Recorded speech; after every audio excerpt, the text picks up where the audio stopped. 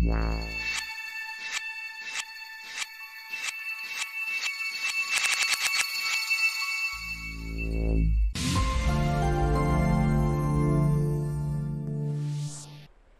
guys welcome back to my channel vfx expert so guys in this today's class we are going to see 3d camera tracking in pftrack and also we will see how to export camera track from PF track to maya. So now we are inside PF track and also just type import this shot inside PF track. so after importing the shot just we have to click on the c icon.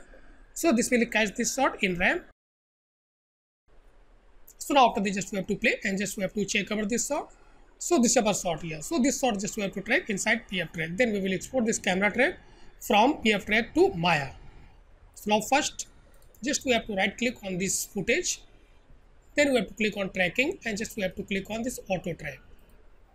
Then downside in this parameter window just we have to check this preview.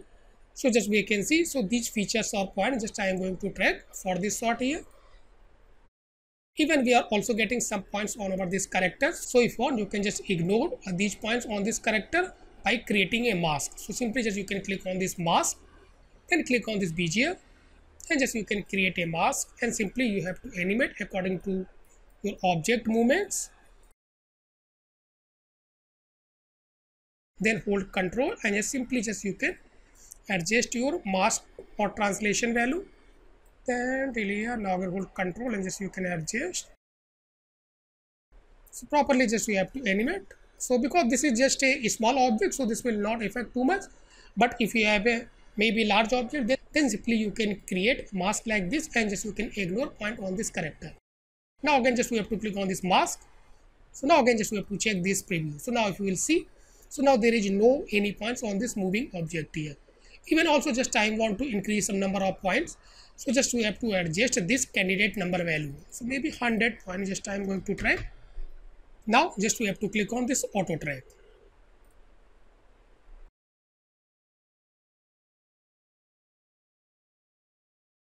so now after tracking this shot if you will see just only few points only just I'm getting on this ground here. So just you can see and most of the points just I'm getting on this wall or this building here. So now just i'm going to solve our camera and just we will check in 3d view here. So simply just we have to right click then click on solving and just we have to click on this camera solver.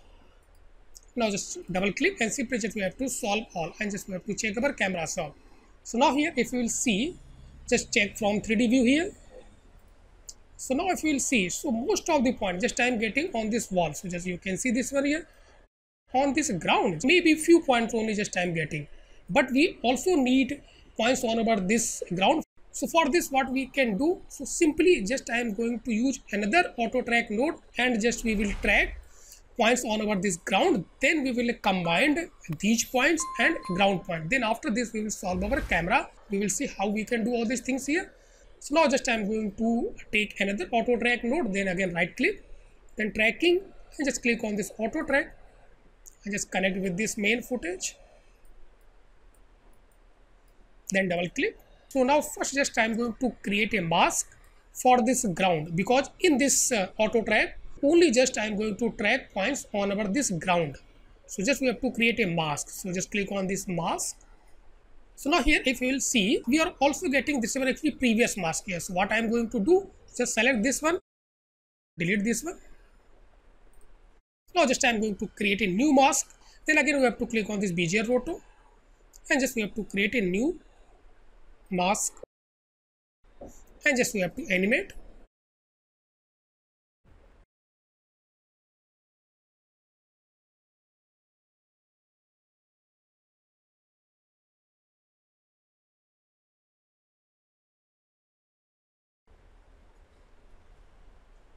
so maybe i think this is sufficient here. Then after this just we have to invert this mask so simply just we have to click on this invert. So now just i'm going to track only this area. So just you can see. Again just we have to click on this mask. And just we have to check this preview. So now just i'm going to track 200 point for this ground here. So just we have to adjust this one even if want you can also just enhance this sort. So simply just you can click on this enhance and just you can adjust this contrast all these things. Now simply just you can click on this color and just we can adjust this contrast value. Now again just we have to click on this enhance. So now just we have to check this preview. So now just i'm going to track all these points here.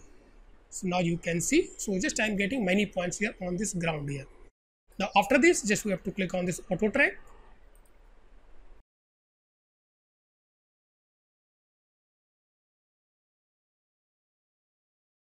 So now just i've tracked these points one over this ground here.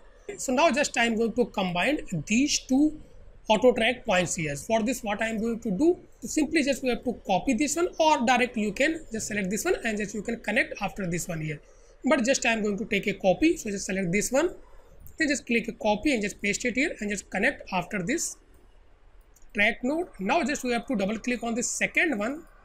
And downside you will get this fetch option. So, so this will fetch this this node track points here. So now just we have to click on this fetch and just all. So now here if you will see so simply just type combine these two auto tracker nodes points here and just total just i am getting these points here. I'm also getting many points on over this ground and also on this building. Here now after this just i'm going to solve our camera. Even before solving if you want you can also delete some higher points. So simply just you can click on this error and just you can click on this trim and just you can trim these points here. So if you are maybe getting many higher points here but i think this is sufficient here. I'm going to solve our camera. Then we have to right click then solving and just we have to select this camera solver and just connect after this one and simply just we have to double click. Then solve all.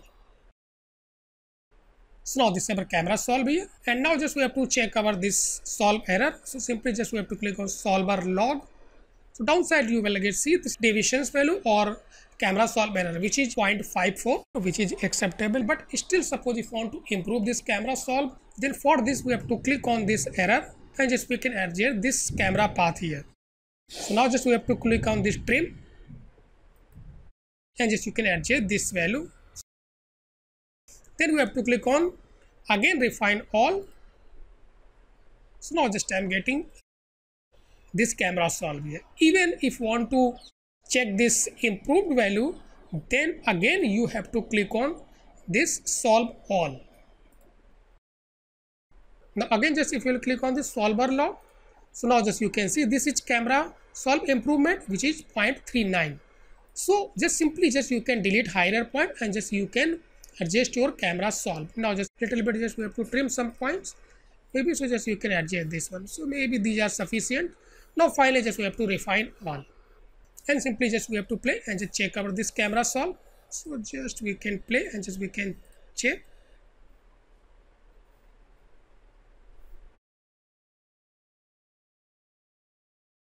we have to click on the two view and just we can check this camera solve through over this perspective view here or 3d view. So just you can see so these are our actually uh, 3d some points on our this ground and these are our actually points on this building. So just you can see these points here. So now after this just i'm going to orient over this scene. So just right click then go to this utility and just we have to select this orient scene node so first we have to define a origin. So maybe i think uh, this point just i'm going to use as origin. So just we have to select one point on over this ground. Then we have to click on this set origin. Now just you can see this one here. Then we have to orient our scene. Just we have to click on this edit mode. And just we can select these rotations. And just we can adjust this value so this is actually g value then y up y axis up axis this is x and g axis.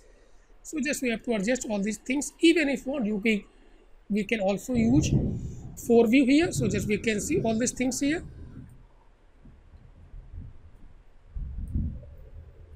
So just you have to check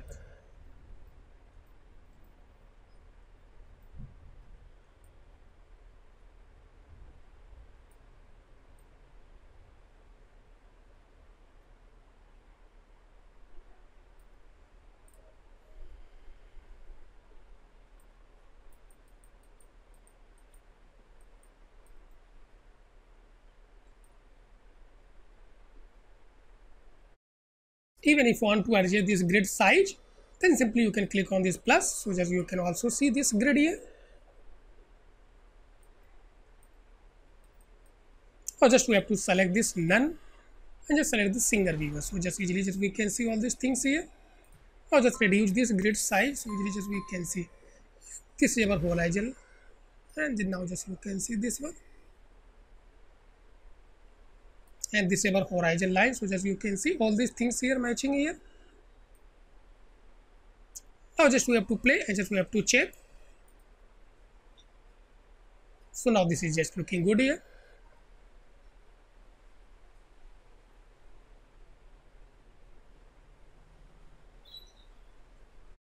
So after this just I'm going to create some test object and just we will test over this scene or camera solve.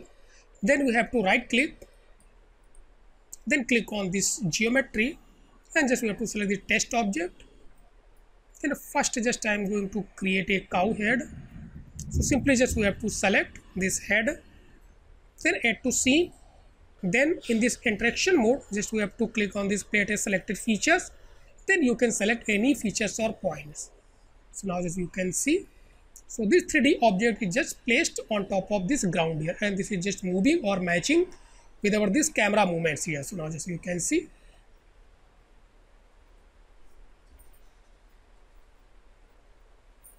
So now even if one you can just create many test objects. So simply just select this mushroom and just add to scene. Then place a selected feature. Just you have to select this one then you have to select point so this will automatically place. Now you can just click on the duplicate and just select all these features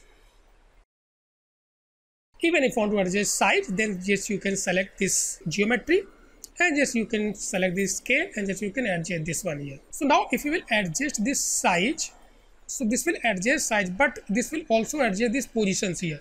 So again just we have to select the place a selected feature then we have to select this point after adjusting this size. Then only this will place on this ground. So remember this one here. Or another option just simply just you can delete so now if simply just you can click on this tall marker and just uncheck this one recenter option.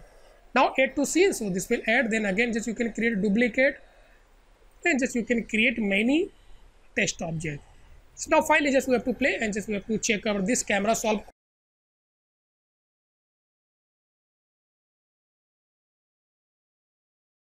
So now this is just looking good here. So now finally just I am going to export this camera track from After Effects to Maya. Then we will import this camera track inside Maya. So simply just we have to right click. Then we have to click export and select the export option. Then connect after this test node. Then double click. Then in format just we have to select this Autodesk Maya 2011 this this option.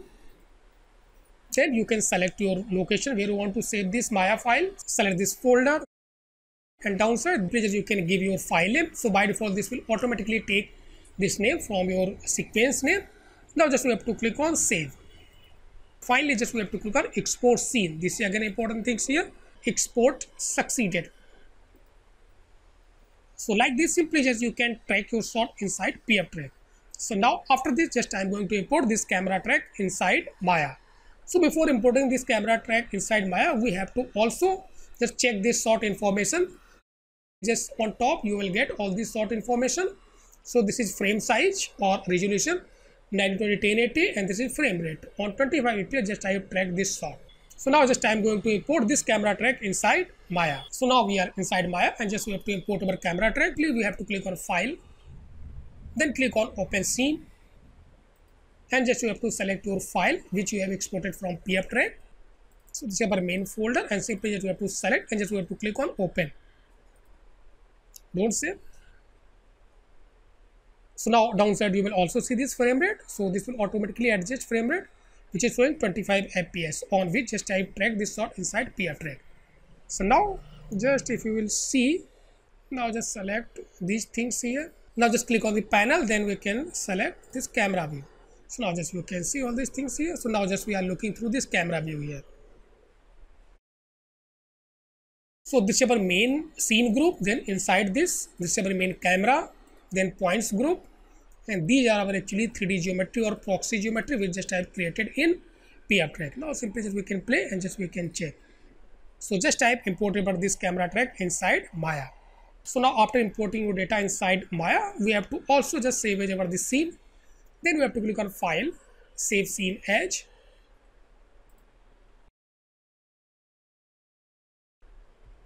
now we have to click on save as so now after this just i'm going to assign maybe some object in our display layer. So just easily just we can hide and show so just click here this layer editor and just select all these. Proxy geometry control g press. And just assign into over the display layers here. And just easily just we can hide. Even points group you can also assign in display layer. Double click just give a name even if you want you can just also change this locator color. Now save so just easily just you can find your locator. Even if you want to adjust your locator size then just simply just you can select all these individuals locator.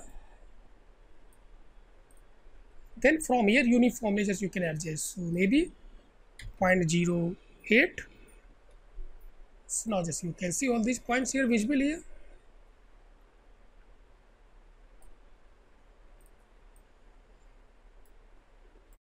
now just we have to select two view and as we can see so this is our camera view. And this is our perspective view here. So, so simply just we can select all these camera and just we can press F. So just you can see all these things here. And just we have to also check our scene orientation. Even still if there is any requirement then just we can also orient your scene inside Maya. So for orienting your scene simply just we have to select this entire group. Then we can adjust these rotations value and just we can orient your scene according to requirements here. Now just i'm going to create a 3d object inside maya. Even if you want you can also just adjust near and far clip value here. Please just we have to select this camera and just lock first all these parameters then go to this attribute editor. So again just we have to select this camera and just we can adjust this value. So maybe make it then 30 just we have to put here. So now just i'm going to create a just test geometry here. So for this simply just we have to click on this cube. So now just you can see this is our test objects here even before creating your any test object inside Maya if you want you can also adjust your scene scale. Then for this just we have to select this main scene group then go to this layer editor and just we can adjust this scale value. So maybe just make it 5 so just you can see here this one this grid. So like this if you want you can just also adjust your scene scale according to your requirements here. Even for proper scene scale just simply just you can take a 6 feet character and just you can adjust your scene scale. Now just make it 1 then just i'm going to create a 3d object inside maya. Just click on this cube. Now just you can adjust this. Now just select this one press w. So first we have to move this anchor point at this bottom here. So press d and v. Now press v and just snap it here. Maybe anywhere just you can place. Now just adjust this size so now if you want you can just hide these locators here even grid if you want you can also hide. So just you can hide this grid.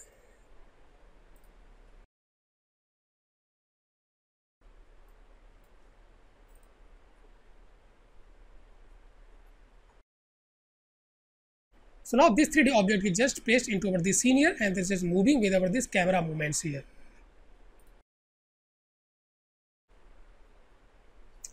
Check this grid and just also just we can check our this 3D object.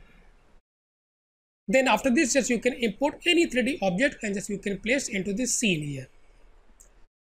So guys till here I have completed our this class. So if you like this video please watch share comment and subscribe my channel if you are still not subscribe my channel so thanks for watching